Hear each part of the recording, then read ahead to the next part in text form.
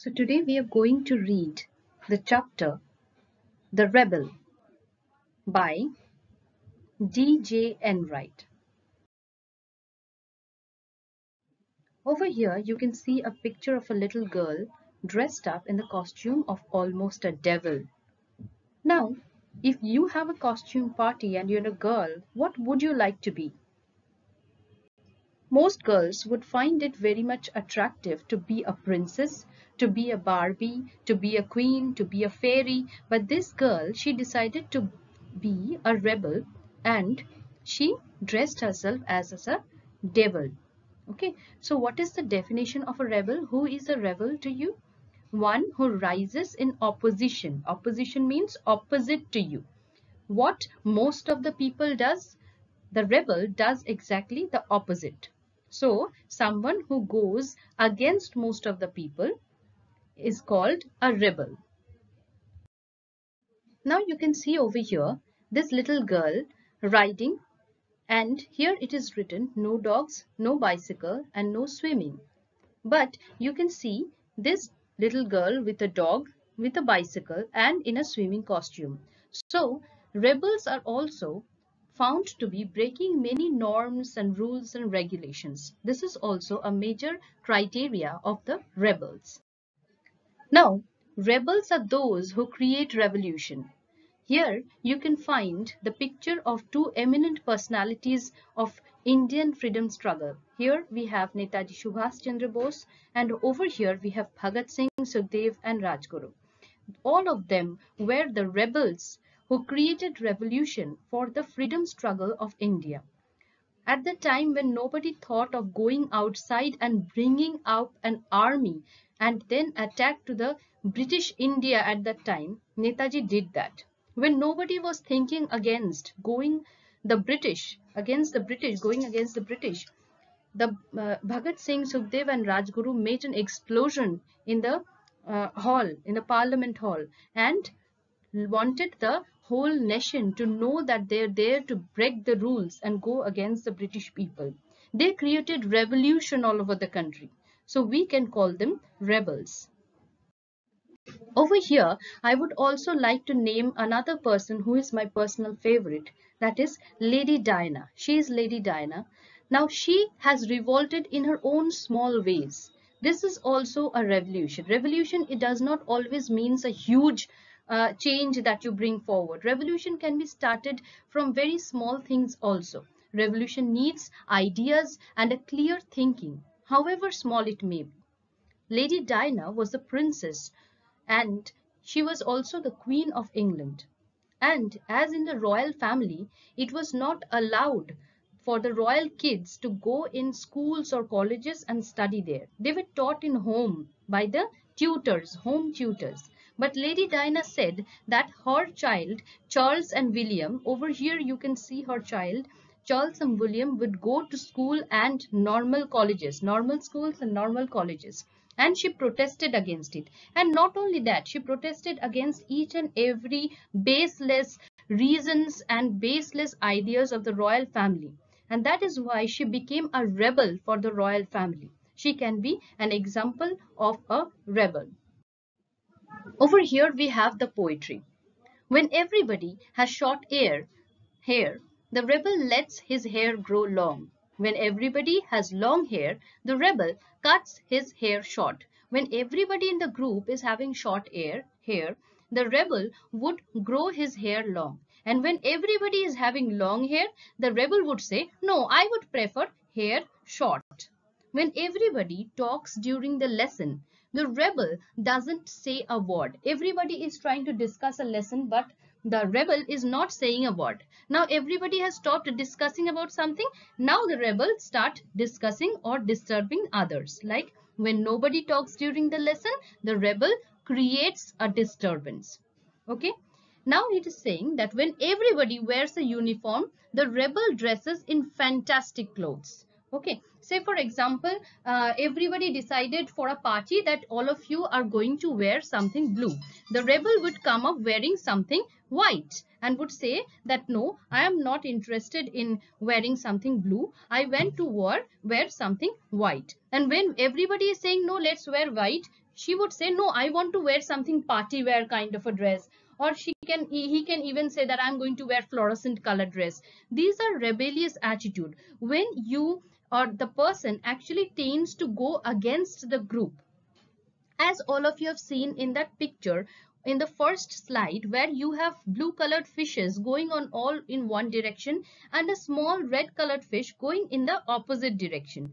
That small red colored fish is our rebel over here. The rebel, uh, in the company of dog lovers, the rebel expresses a preference for cats. When everybody is saying, oh, puppies, they're so cute, the dogs are so nice, then the rebel would say, but cats are also very nice. Okay. And in the company of cat lovers, the rebel puts a good word for dog. And when everybody is saying the cats are really nice creatures, we should all have cats as our pets, then the rebel come up and said, but the dogs are also very faithful and they're also cute. Okay, so when everybody is saying something, the rebel is supposed to say something else.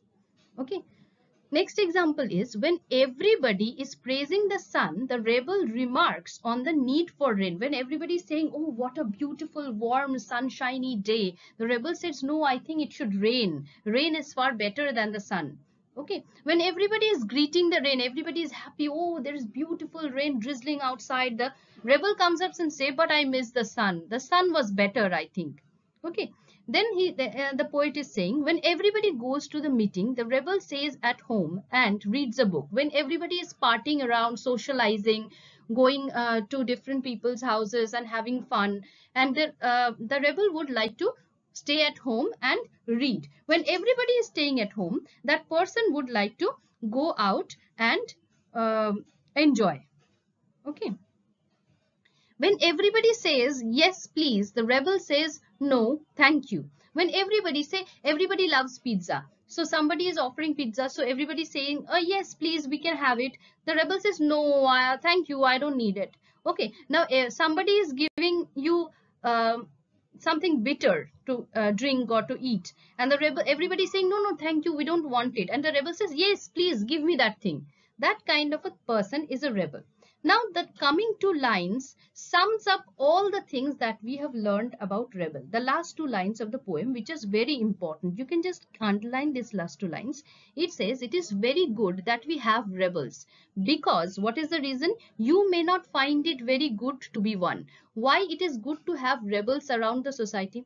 Because there are many norms and regulations which we need to see from a different perspective and the rebel does that work Say for example, previously in when the voting system started, voting was not allowed for the women. But there was, there must be one rebellious woman who protested against it and who motivated the other women to protest against it from where started the feminism? And they, she told others that why? We are also human beings. We are also similar creatures. Why won't we have the right to vote? And from there was a, a change created in the society. So the rebels are very good to have rebels around us who gives us a different perspective of life and sometimes a fruitful change in the society in the future and the last line says, you may not find it very good to be one.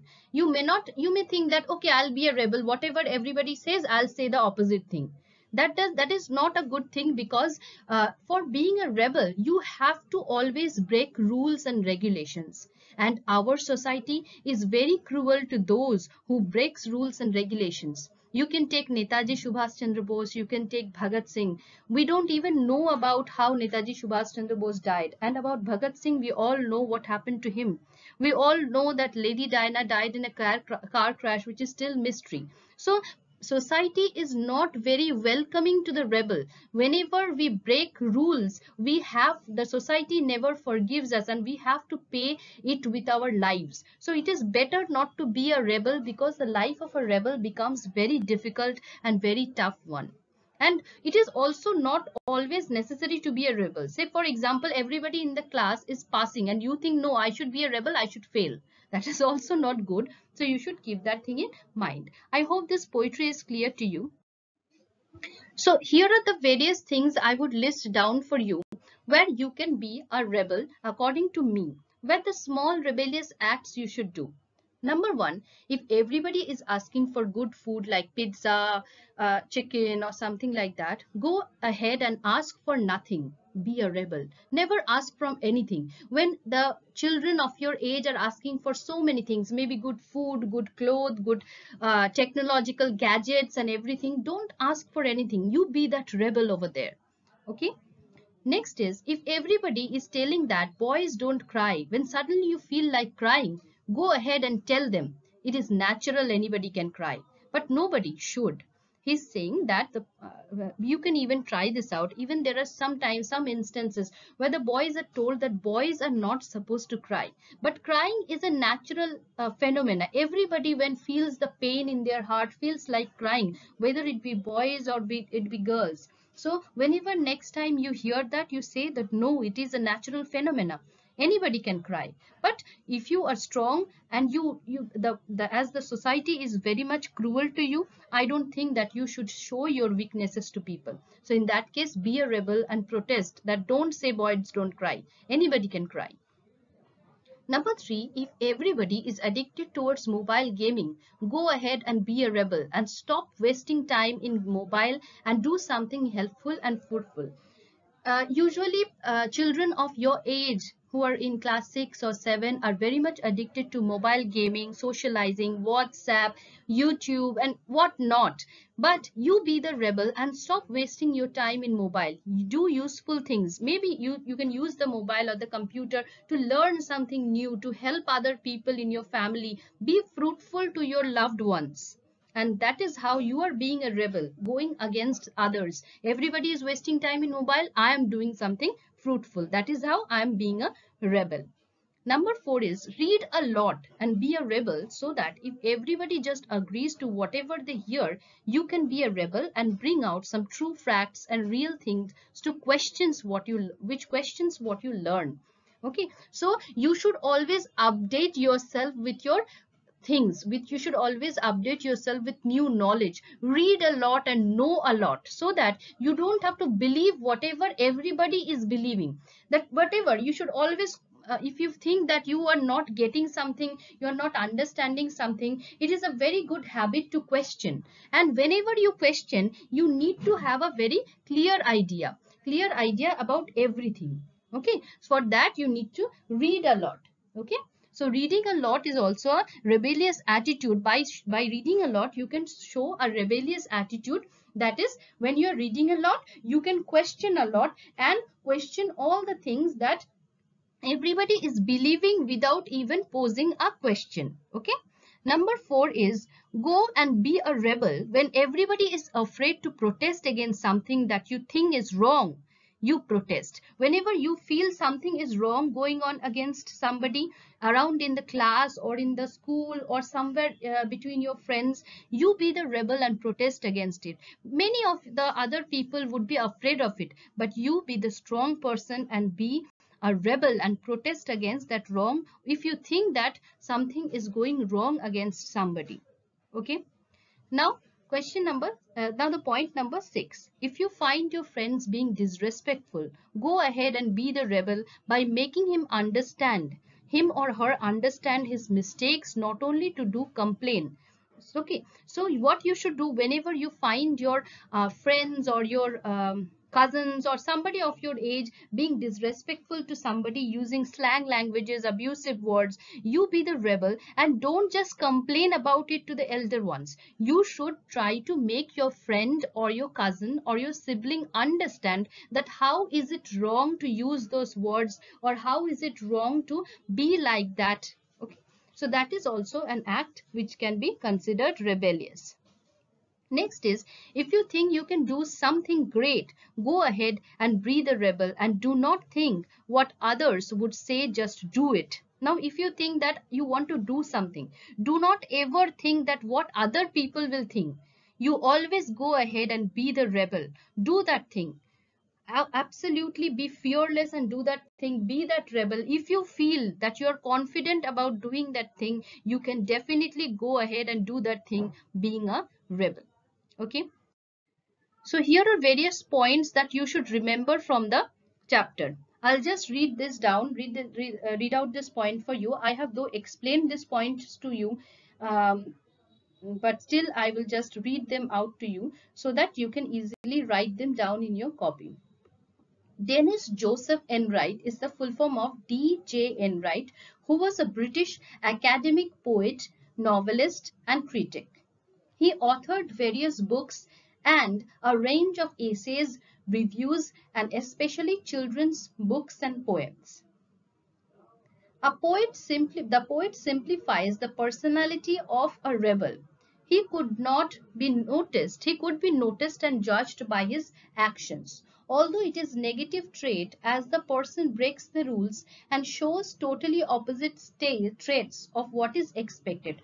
What is the personality trait of a rebel? He breaks the rules. See, person breaks the rules and shows totally opposite traits what is expected from him. He or she does not follow general rules and regulations. He challenges the society. Whatever the rules and regulations of the society, he always challenge that. These persons can be productive and socially useful too. How socially useful? They give us a different outlook of the life. As we have seen in the movie PK. PK was giving always a different outlook of the life. Like he was wearing stickers of Hanumanji and other other uh, gods on his face so that nobody can hit him so he was utilizing the superstitions of human beings against them okay so always the rebels gives us a productive and socially useful uh, outlook to our own norms and regulations Number three is a rebel can be seen by his rebellious traits. Traits means features. For example, if the member of a society decide to have short hair, the rebel would have long hair. As a mark of revolt, he would bear short hair if everyone settles for long hair. When everybody during the talks, uh, when everybody during the talks, he would keep, everybody talks during the uh, different concerts or classes, there is a little mistake over here. He would keep silent, whereas when everyone is expected to keep quiet, he would he won't stop talking and would disturb all. His attitude is obvious in dressing up too. He won't wear a uniform if everybody does. However, during celebrations and parties, they would dress in a sober way. When everybody is dressing elaborately like wearing uh, beautiful things, he would wear something very sober. And when everybody is wearing something sober, he would tend to wear something very elaborate and gorgeous. Next point is they take the conversation to a different level. If everybody talks to dog, talks about talks of dogs, they talk about cat and vice versa. And everybody is talking about cats, I would talk about dog. Rebels won't praise the sun for its warmth and light as everyone does. They would rather talk of rain. And when everybody welcomes rain, he would talk of the sun. Next is the ultimate motive of a rebel is to go aggressive the time and wishes of everybody around. They goes aggressively opposite to everybody around them. Whatever the ideas and the norms and regulations of the whole society, they just tend to go opposite that. They prefer to remain alone when others are engaged in socializing or meetings. He would think of meeting when others feel to stay indoor and read their books. Similarly, or various issues, the rebel would be seen contradicting others and doing things that no one would be doing. So I hope this chapter